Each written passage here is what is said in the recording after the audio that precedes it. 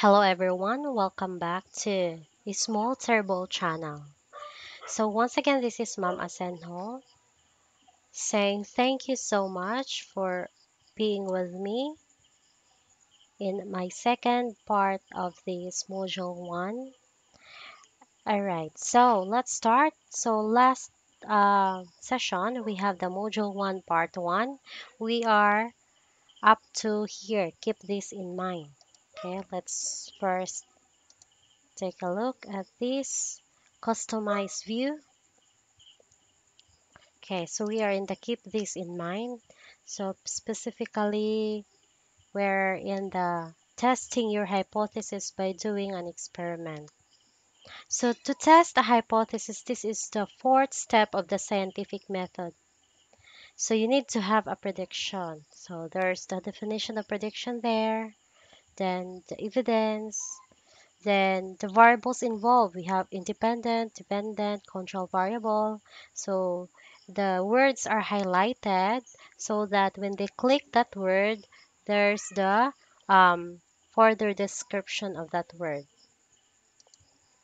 Then we have the materials and procedure uh, which are needed in doing an experiment.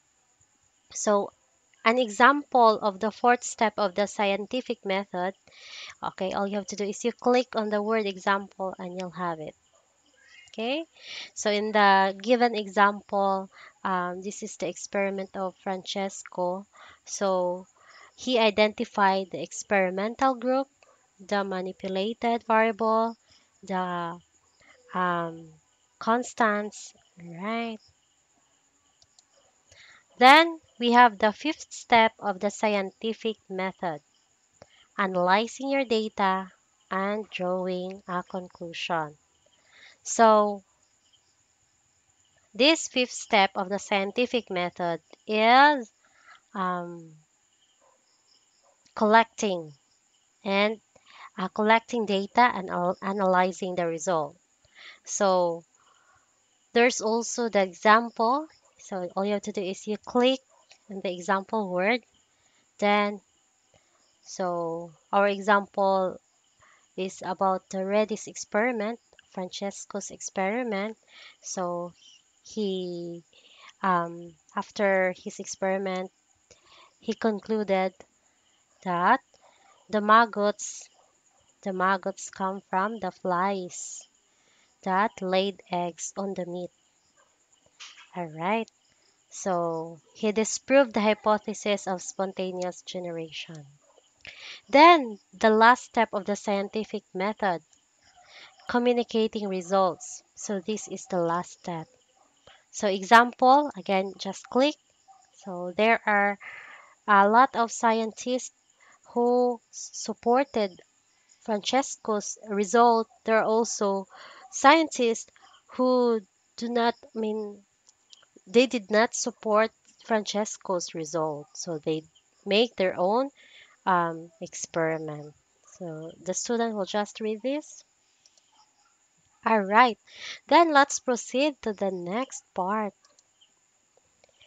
Apply what you have learned. So apply what you have learned. The students will apply this time what they have learned in the keep this in mind section. Okay? So recall what what are the things that are found in the keep this in mind section. They are the steps of the scientific method. So all the students have to do is to click on the picture. Alright, and they will be prompted to this game, ordering game.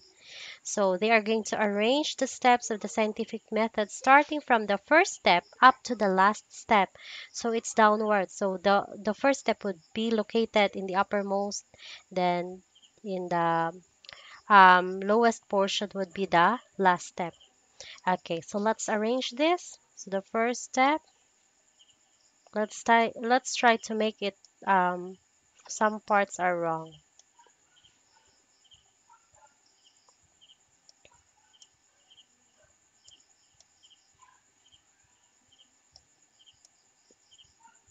Say, for example, that would be our answer. So all we have to do is we show answers, click show answers, then press yes.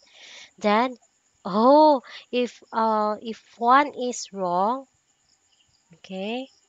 If one, okay. So because I designed it to be as one, okay.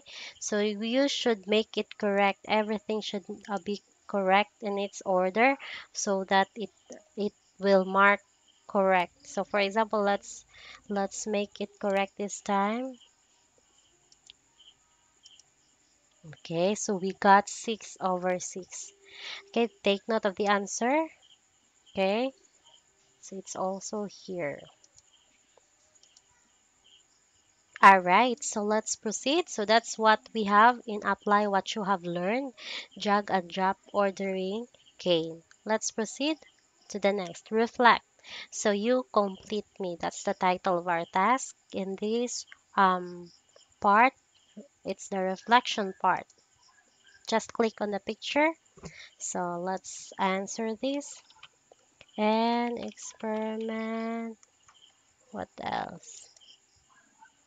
Kind of different var. So variables. Another word for independent variables. Let's say manipulated.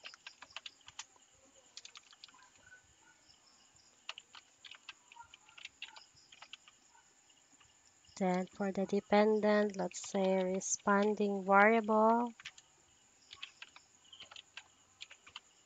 Then we have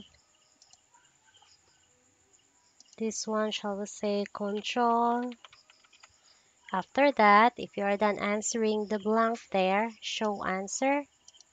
Okay, and you got 4 over 5 because they should be variable. There should be no S because you know so subject verb agreement so we can integrate this time our english english subject because is a factor so this should be variable.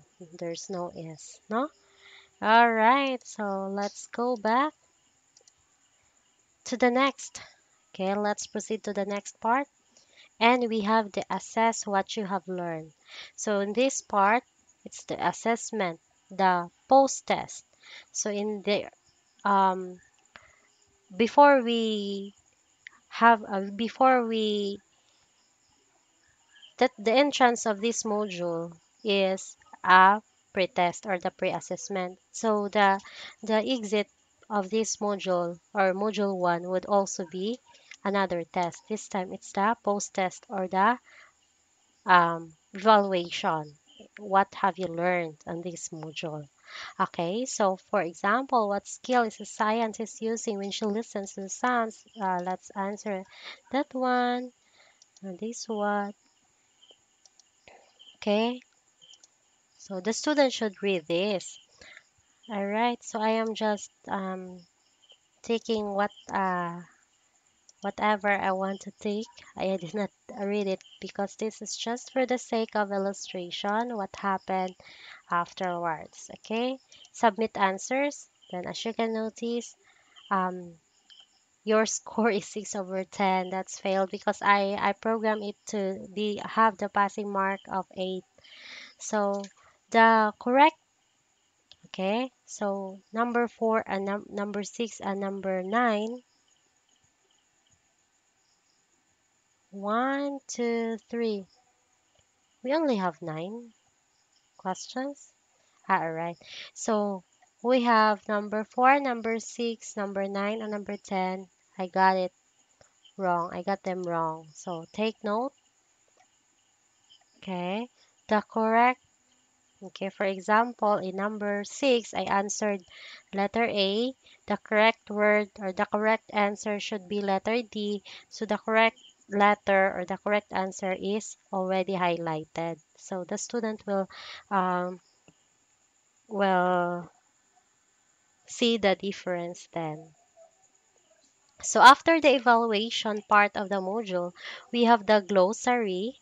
So in the glossary, we have here the words that are used in the module. Okay. Then we have the answer key part, though this is not any more important by using this um, um, Kotobee, but for some other, um, like for example, um, in the plain document.